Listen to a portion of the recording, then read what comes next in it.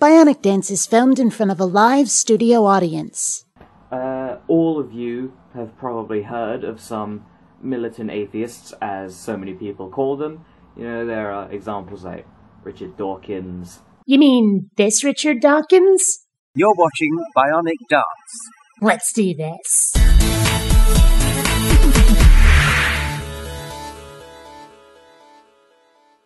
Greetings, fellow space travelers. Bionic Dance here.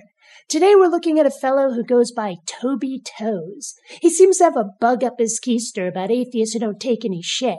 Or, as he calls us, militant atheists.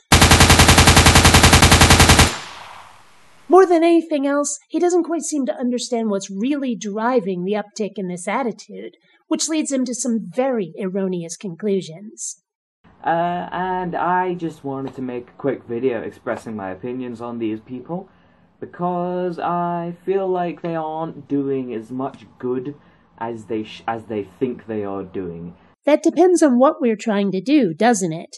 However, there is no we, though there are a few groups out there. It's not like atheists have congregations the way religions do. We're people with some similar ideas, but we're not united by doctrine and dogma.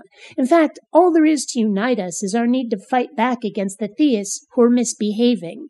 That's what I'm doing when I argue against religion, making sure it only intrudes on people's lives when it's welcome. If you want to call that militant just because I tend to be a bit forceful and unashamed about my opposition, well, then I'll cheerfully own that description, thank you very much indeed. The fact that these people are so angry about the existence of religions and the constant blaming of religions of all the world's ills. That is very much an exaggeration. At best. Whether it's through ignorance or being grumpy, I can't tell. But I don't know of any atheists who've taken such an extreme position. Maybe they exist, but in very small numbers, and they don't seem to speak out. It's mad. They blame. They claim that religion just starts wars and all wars are because of religion. All wars. All wars? Again, who says that? And are you denying that religion plays a major role in a lot of wars? World War II had nothing to do with the Jews. The Catholics and the Protestants in Ireland never had a bit of a tiff. The Inquisition? Don't be silly. Religion never played a part. And that minor skirmish in the Middle East. Well, the two sides representing different facets of the same religion, why, that's just a coinky dink, isn't it? Oh, I can name a few wars that weren't fought over religion. The American Civil War comes pretty quickly to mind. If religion played a part in the Korean War, it was kept very much on the hush hush. Okay, a lot of Americans seem to think that fighting communists had at least a little bit to do with battling atheism, but I think that was pretty damn silly and not a major cause of Korea, Vietnam, or the Cold War. Calling them godless communists was mostly just a way to galvanize Americans against them rather than an actual reason to fight them. Atheists, even us militant ones, do appreciate nuance in geopolitics rather more than you're giving us credit for. It always starts and always continues for a large group of reasons. No one has ever gone to war just because of religion. This sounds like arguments I've heard against gun regulation or requiring seat belts and bicycle helmets. Oh, it'll only save a few lives, not all of them, so we shouldn't do it at all. You accuse atheists of having a simplistic view of war, but this all or nothing approach is just as simplistic. The fact is that religion plays a huge role in a lot of military conflicts and is often used at least as an excuse to be extremely crappy to other people. Take that away, and at the very least they're going to have to work harder to justify sending troops to kill other people rather than playing on the public's emotions through their God belief yes, religion can be a part of it, but it's not the main reason all the time. Oh, calm your tits, Chelsea. I mean, what are you even trying to accomplish here? And they tend to, like, focus so much on criticizing and hating people for having a religion when that doesn't make any sense because they're not talking about people that are causing harm to other people. That depends on how you define harm, doesn't it? There are kinds other than physical, you know. Some people grow up terrified because of the boogeyman of God their parents have waved at them like a punishment paddle. And that's harm just as much as actually whacking them with that paddle would have been. Yeah, sometimes they do talk about people who cause harm to other people, but they usually talk about it in a way that is not friendly and not really doing anything to help prevent the harm. How would you know? Have you done surveys or studies or anything? Sounds more as though it's just being done in a manner you don't like. At the very least, I know that people have left religion because of my videos. I get told by them every now and then. If people are leaving these destructive, ignorant, backward faiths because of what I'm doing, I'd say I'm helping to negate the harm. Is it possible you don't like how it's being done because it's working? They're usually talking about how it's illogical to believe in a god when that doesn't make sense because people who believe in a god usually have logical reasons why they do. Oh, wait, you were serious about that? Logic is subjective to the person. Just because you can't prove something exists doesn't mean believing it exists is inherently damaging or harmful. Inherently? No, perhaps not. But if you're believing something that has no basis in fact, the chances that you're wrong are basically infinity to one. And when that something dictates not only how you're supposed to live your life, but also how you're supposed to treat other people, especially those who don't agree with you, and many of those ways aren't exactly neighborly, perhaps you might begin to see why some of us think it might be just a little bit on the harmful side, yes? There's a reason most atheists don't have paganism, Wicca, or Buddhism in our target sights because those aren't usually telling their followers to kill the infidel.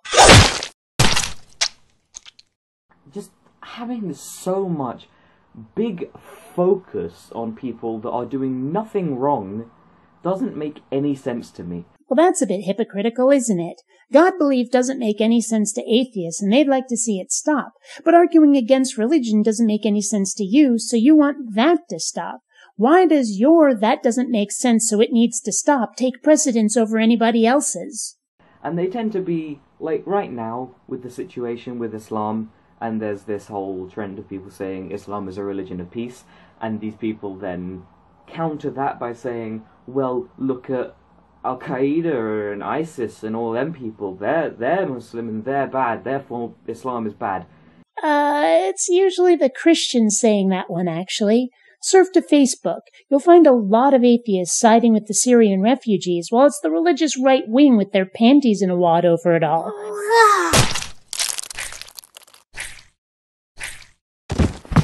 Granted, most militant atheists do think Islam is bad, but we don't need Al Qaeda as an excuse. Just read their holy book.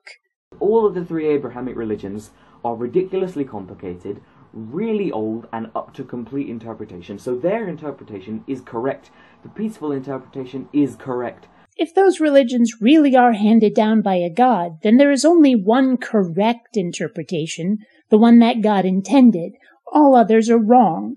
But if there is no God, then the religions are just made up, and so no interpretation is correct because they're all bullshit. So I suspect you're using a different definition of correct than the rest of the world no one is causing harm by thinking Jesus was a person. If you take that belief purely at face value, no. But as I alluded to before, that concept comes with a lot of baggage that can really screw with someone's psyche. You keep accusing militant atheists of having a simplistic view of religion, but you've just demonstrated that we're not alone in that regard. Militant atheism is ridiculous, and they tend to think that science and religion are opposites, which doesn't make any sense at all because they can both be together. Only if you compartmentalize your beliefs, only if you ignore the parts of religion that science completely bowls over, barely noticing it's there. Science and religion can only coexist if both are treated like a serve yourself buffet of ideas. Science isn't everything, because you need to realize that science is the study of the physical world religion and spirituality are the study of the non physical world. Which, you know, definitely exists. We have books about it. It must be real. You do realize that religion makes claims about the physical world. Lots of them. From the origin of the universe and humanity to floods and resurrections and women turning into pillars of salt, it would be both ignorant and foolish to claim that religion deals solely with some non-physical world that, so far as anybody has ever demonstrated, exists in books and nowhere else. And some people believe the non-physical world is a thing, some people don't. It doesn't matter. Of course it matters. People think you're going to hell if you're gay, or if you use birth control, not just abortions. Apparently condoms are verboten to some of these nut jobs. Religious has some serious hang-ups about sex, you might have noticed. And for lots of other reasons. And so they feel it's their duty to stop us all, because afterlife. If all they did was believe in something I think is stupid, like that Star Trek is better than Star Wars, I could just ignore it.